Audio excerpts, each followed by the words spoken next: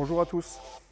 Dans les vidéos précédentes, nous vous avons aidé à diagnostiquer votre problème de passage de vitesse sur une Renault Quick Shift, à savoir si le problème venait de la boîte de vitesse ou du levier de vitesse.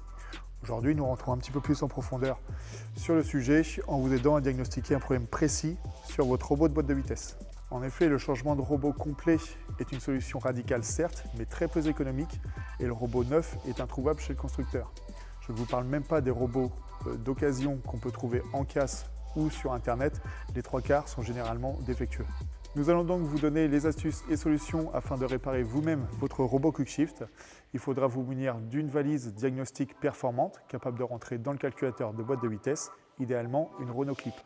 Alors une petite aparté, euh, mais assez importante, il est complètement illusoire de vouloir poser un diagnostic précis sur ce type de boîte de vitesse-là sans euh, valise diagnostique performante capable de rentrer dans le calculateur de boîte de vitesse. Euh, donc uniquement avec votre symptôme, ça va être très très compliqué de poser vraiment un diagnostic précis et qu'on puisse vous donner vraiment les pièces à changer. Il nous faut vraiment des codes défauts précis euh, avec une valise performante euh, du type euh, Renault Clip. Donc les problèmes principaux sur ce robot-là, les trois quarts des problèmes on va dire, sont liés à, une insuffisance de pression d'huile dans le robot de boîte de vitesse. Donc vous avez une chute importante de la pression, très rapide, et la pression ne tient pas assez dans le temps. Ça c'est dû premièrement à un accumulateur, donc la grosse boule noire, la réserve de pression d'huile, lui qui est défectueux. Dans le temps, euh, l'accumulateur va se détériorer euh, à l'intérieur et va beaucoup moins tenir la pression par rapport à l'origine. Ce qui va avoir pour conséquence de faire tourner l'électropompe beaucoup plus souvent et beaucoup plus longtemps, jusqu'à ce qu'elle-même euh, grille, soit HS. La première chose à faire, ça va vraiment être de changer en premier l'accumulateur, qui est vraiment la cause des soucis, et en second, l'électropompe. L'électropompe, elle, est là pour mettre de la pression d'huile qui va aller directement dans l'accumulateur euh, en réserve. Il faut donc changer absolument en même temps euh, l'accumulateur et l'électropompe si vous voulez que votre problème soit résolu à long terme.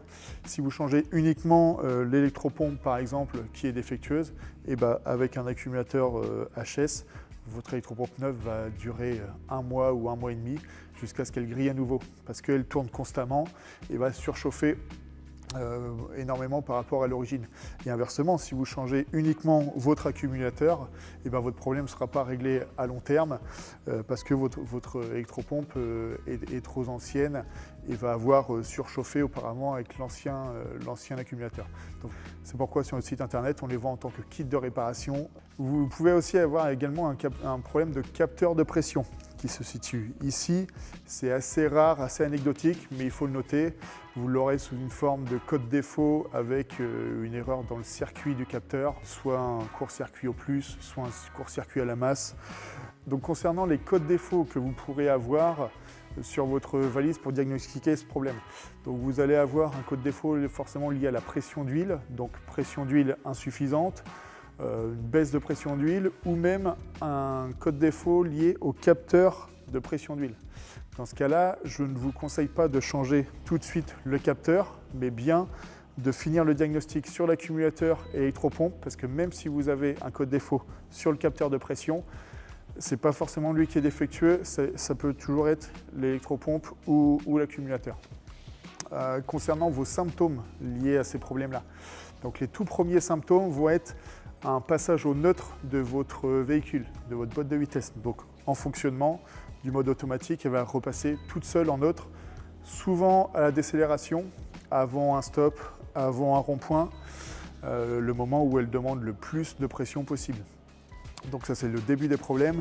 Plus ça va aller dans le temps, forcément plus vous allez avoir de soucis avec votre véhicule, euh, jusqu'à ne plus pouvoir démarrer le matin. Euh, c'est-à-dire que vous allez tourner votre clé, la pression ne va pas être suffisante dans la boîte de vitesse, le moteur ne va pas démarrer.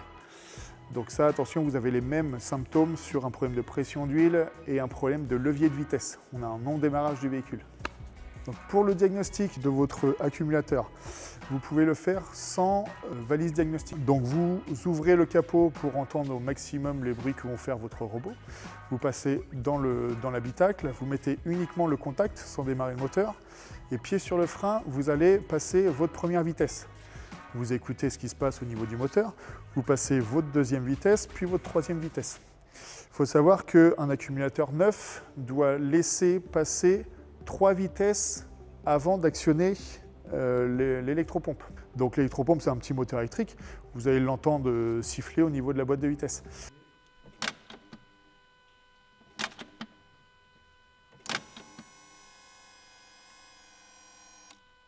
Si vous entendez cette électropompe fonctionner, donc au bout de trois passages de vitesse, votre accumulateur est en bon état. Si euh, elle se met en route quelques secondes, au bout de deux passages de vitesse, votre accumulateur commence vraiment à être, euh, endommagé. Et si l'électropompe se met en route à chaque passage de vitesse, là, vous savez qu'il est, euh, vraiment temps de le changer et qu'il est, qu'il est HS. Je vous déconseille fortement l'achat soit d'un accumulateur, soit d'une électropompe d'occasion. par expérience, il n'y a aucun moyen de savoir s'ils sont en bon état ou pas autant un accumulateur qu'une électropompe. Extérieurement, c'est toujours bon. Intérieurement, euh, on ne sait pas du tout dans quel état c'est, si c'est en bon état, si c'est HS ou pas. Donc ça, c'est vraiment à proscrire. Si vous voulez vraiment une réparation à long terme, c'est du neuf euh, ou rien. Passons maintenant aux autres problèmes qu'on peut rencontrer sur votre robot QuickShift, comme notamment un problème spécifique au moteur diesel avec les boîtes euh, de vitesse QuickShift. Ce sont des problèmes d'embrayage. Euh, donc un problème d'embrayage là-dessus. Vous allez voir comme symptôme, euh, forcément votre roue va plus du tout fonctionner. Vos vitesses vont pouvoir passer moteur arrêté, contact mis. Donc juste avec le contact, pas de problème, vous passez vos vitesses. Par contre, vos vitesses ne passent plus du tout une fois que le moteur est allumé. Ça, c'est vraiment un problème, un, symptôme typique sur votre, sur véhicule diesel avec une boîte quick shift. Là, vous savez que vous avez un problème d'embrayage. Euh, donc dans ce cas-là, vous allez retrouver des codes défauts avec les, avec les valises diagnostiques euh, clip. Vous allez retrouver des codes défauts liés à l'embrayage. Euh, donc soit l'embrayage en lui-même, soit un code sur le capteur d'embrayage. Là, vous êtes sûr à 100% de, ça. On ne part pas sur un problème de pression ou d'autres capteurs ailleurs. la solution sur ce, sur ce problème-là, c'est forcément de changer votre embrayage euh, avec le kit de réparation également euh, pour réparer les joints et tout l'intérieur de votre vérin d'embrayage qui lui, avec, à cause d'un embrayage défectueux, à l'intérieur ça va vraiment, euh, se détériorer, les joints ne vont plus, être, vont plus être étanches, donc il faut changer absolument votre embrayage avec le kit de réparation du vérin d'embrayage et la valise diagnostique. Sans la valise diagnostique, vous n'arriverez pas à purger votre vérin d'embrayage. Donc vous allez faire forcément votre embrayage comme sur une boîte manuelle classique. Vous allez tout remonter.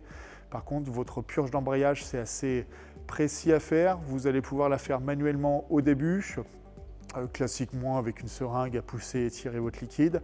Par contre, à la fin, il faut vraiment que ça soit euh, très très précis et il n'y a qu'à la valise, euh, avec la valise en tout cas clip, que vous arriverez à faire une, une purge d'embrayage aux petits oignons pour que vraiment ça fonctionne parfaitement. La moindre bulle d'air dans le circuit d'embrayage vous mettra des codes défauts et coupera le fonctionnement de la boîte de vitesse. Donc un changement d'embrayage sur un diesel quick shift, ça se fait avec la valise, sans valise. N'entamez même pas votre, votre réparation, là vous n'arriverez pas jusqu'au bout. Euh, vous pouvez retrouver d'autres problèmes également sur euh, sur votre robot QuickShift qui sont un petit, peu plus anecdotiques. Tout ce qui est capteur euh, quelconque, sans parler du capteur de pression, mais euh, capteur euh, de position de, sélection, capteur de position d'engagement, des problèmes de code défaut sur des électrovannes. ça, c'est très souvent lié à une intervention humaine. Les électrovannes et les capteurs sont relativement fiables de marque Magneti Marelli sur ces robots-là.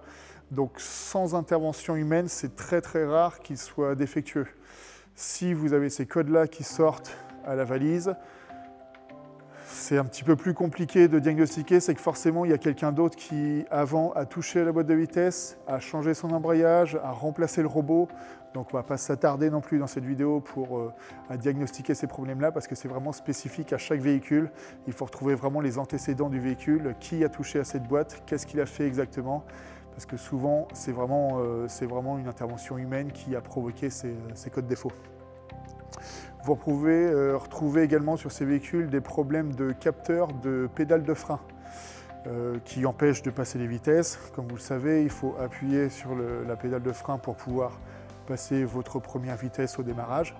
Et bien, si votre capteur de pédale de frein est HS, il ne détecte pas que vous appuyez sur la pédale et du coup votre vitesse ne passe pas. Donc ça c'est assez facile à diagnostiquer, ça sera également un code défaut à la valise. Vous pouvez retrouver des faux contacts dans les prises sur des véhicules qui peuvent rester un certain temps euh, arrêtés sur des parcs des garagistes ou, dans des garages.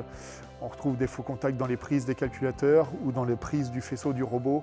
Donc là, juste un petit coup de bombe contact euh, dans toutes les prises va vous aider à récupérer des, à contacts francs et, enlever tous ces codes défauts un petit peu superflus euh, qui vous arrivent et que vous avez du mal à diagnostiquer.